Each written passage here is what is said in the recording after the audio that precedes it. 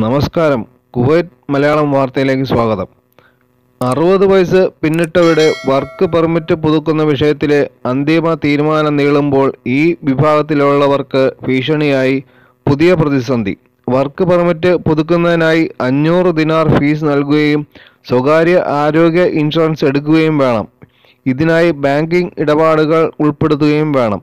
നിലവിലെ ഇളവ് കാലാവധി നീണ്ടുപോകുമ്പോൾ അവരുടെ സിവിൽ ഐഡിയുടെ കാലാവധി കഴിയുന്ന സാഹചര്യത്തിൽ ബാങ്ക് കാർഡ് സർവീസ് നിർത്താൻ ബാങ്കുകൾ ബാധ്യസ്ഥരാവും. സിവിൽ ഐഡി കാലാവധി അവസാനിച്ച ഉപഭോക്ത ഒരു ഉപഭോക്താവിന്റെ പണ കൈമാറ്റം നിരോധിക്കാനുള്ള നിർദ്ദേശങ്ങൾ ബാങ്കുകൾക്കും എക്സ്ചേഞ്ച് കമ്പനികൾക്കും പാലിക്കേണ്ടി വരും. ഇതോടെ വിദേശത്തേക്ക് പണ കൈമാറ്റം ചെയ്യാൻ ഈ വിഭാഗത്തിന് സാധിക്കാതെ വന്നേക്കും സ്വദേശികൾക്കും വിദേശികൾക്കും ബൂസ്റ്റർ ഡോസ് വാക്സിൻ സ്വീകരിക്കണമെന്ന് ആവർത്തിച്ച് ആരോഗ്യ മന്ത്രാലയം. മിശ്രഫ് വാക്സിനേഷൻ സെന്ററിൽ അപ്പോയിൻമെന്റ് എടുക്കാതെ എത്തിയാലും ബൂസ്റ്റർ ഡോസ് നൽകുന്നുണ്ടെന്നും ആരോഗ്യ മന്ത്രാലയ വക്താവ് ഡോക്ടർ അബ്ദുള്ള അൽ സനദ് പറഞ്ഞു. പതിനെട്ട് ആരോഗ്യ കേന്ദ്രങ്ങളിലും ബൂസ്റ്റർ ഡോസ് വാക്സിൻ നൽകുന്നുണ്ട്. രണ്ടാം ഡോസ് സ്വീകരിച്ച് ആറുമാസം കഴിഞ്ഞവർക്കാണ് മൂന്നാം ഡോസ് നൽകുന്നത്. ആദ്യ dose Pfizer Oxford Moderna Johnson and Johnson എന്നിവയിൽ ഏത് സ്വീകരിച്ചാലും മൂന്നാം ഡോസ് ഫൈസർ ആയിരിക്കും നൽകുന്നത്. അതേസമയം അർബുദ രോഗികൾ അവയവമാറ്റം നടത്തിയവർ രോഗപ്രതിരോധശേഷി കുറഞ്ഞവർ തുടങ്ങിയ റിസ്ക് ഗ്രൂപ്പിലുള്ളവർക്ക് ആറുമാസം കഴിയാതെയും മൂന്നാം ഡോസ് നൽകുന്നുണ്ട്. ശൈത്യകാല പ്രതിരോധ കുത്തിവയ്പ് തുടരുന്നതായും മന്ത്രാലയത്തിന്റെ വെബ്സൈറ്റ് വഴി രജിസ്ട്രേഷൻ നടത്തി വാക്സിൻ എടുക്കാവുന്നതാണെന്നും ആരോഗ്യ മന്ത്രാലയം ഓർമ്മപ്പെടുത്തി.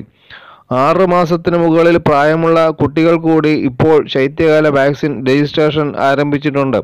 ഇൻഫ്ലുവൻസ ന്യൂമോകോക്കൽ വാക്സിനുകളാണ് സ്വദേശികൾക്കും വിദേശികൾക്കും നൽകുന്നത്. അമ്പത്തെട്ട് ആരോഗ്യ കേന്ദ്രങ്ങളിലൂടെയാണ് നിലവിൽ വാക്സിനേഷൻ നൽകുന്നത്. ഒക്ടോബർ ഏഴിന് ആരംഭിച്ച കാമ്പയിൻ ഡിസംബർ അവസാനം വരെ തുടരും. ശൈത്യകാലത്തുണ്ടാകാനിടയുള്ള ശ്വാസകോശ സംബന്ധമായ രോഗങ്ങളെ പ്രതിരോധിക്കാനാണ് പ്രതിരോധ കുത്തിവയ്പ് നൽകുന്നത്. ശരീരത്തിന്റെ രോഗപ്രതിരോധ ശേഷി വർദ്ധിപ്പിക്കാനും ശ്വാസ സംബന്ധമായ രോഗങ്ങൾ bacterial pneumonia chicken pox diphtheria മഞ്ഞപ്പിത്തം തുടങ്ങിയ രോഗാവസ്ഥകളെ ചെറുക്കുവാനും വാക്സിനേഷൻ വഴി സാധിക്കുമെന്നും ഇതിന്റെ പ്രാധാന്യം ഉൾക്കൊള്ളണമെന്നും ആരോഗ്യ മന്ത്രാലയം അറിയിക്കുന്നു. തണുപ്പുകാല വാക്സിൻ ആരംഭിച്ചതിന് ശേഷം പനി കേസുകളിൽ ഗണ്യമായ കുറവുണ്ടായി. തൊഴിലാളികളെ വിദേശത്ത് നിന്നും റിക്രൂട്ട്മെന്റ് ചെയ്യുന്നതിനുള്ള അനുമതി നൽകിയതോടെ വിസ കച്ചവടം നടത്തുന്നത് തടയാൻ മന്ത്രാലയം ശക്തമായ നടപടികൾ ആരംഭിച്ചു. ഓരോ കമ്പനികളുടെയും ലൈസൻസുകൾ പരിശോധിച്ച് അവയ്ക്ക് ആവശ്യമായ തൊഴിലാളികളുടെ എണ്ണം നിജപ്പെടുത്തി അത് പ്രകാരം തൊഴിലാളികളുടെ കോട്ട അനുവദിക്കുക എന്നതാണ് നിലവിലെ രീതി. നിലവിൽ വിദേശത്ത് നിന്ന് റിക്രൂട്ട് ചെയ്യുന്ന ഓരോ തൊഴിലാളിക്കും ഇരുന്നൂറ്റി അമ്പത് ദിനാർ സെക്യൂരിറ്റി തുക നൽകേണ്ടതുണ്ട്. വർദ്ധിപ്പിക്കുന്ന കാര്യവും അധികൃതർ പരിഗണിച്ചു വരികയാണ്. വിവിധ സർക്കാർ പദ്ധതികളിലേക്ക് ആയിരക്കണക്കിന് തൊഴിലാളികളെ ആവശ്യപ്പെട്ടുകൊണ്ടാണ് അപേക്ഷകൾ ലഭിക്കുന്നത്. എന്നാൽ ഈ അപേക്ഷകൾ സൂക്ഷ്മമായി പരിശോധിച്ച് ഘട്ടം ഘട്ടമായി മാത്രമേ തൊഴിലാളികളെ അനുവദിക്കുകയുള്ളൂ.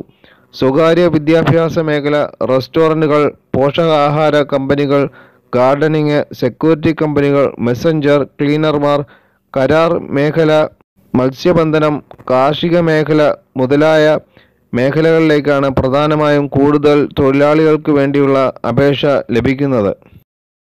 കോവിഡ് മഹാമാരി വലിയ തിരിച്ചടികൾ നൽകിയിട്ടും പ്രവാസികൾ കൂടുതലുള്ള മേഖലയിൽ കൂടുതൽ റിയൽ എസ്റ്റേറ്റ് നിക്ഷേപം നടത്തുന്നതിന് കുവൈറ്റ് നിക്ഷേപകർ.